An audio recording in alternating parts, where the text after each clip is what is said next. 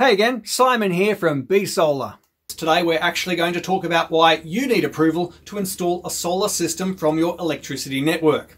Simply put, when you install a solar power system at home, you'll be able to sell excess power back into the grid.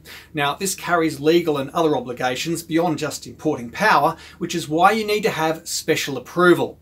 B Solar handles all of this paperwork for you.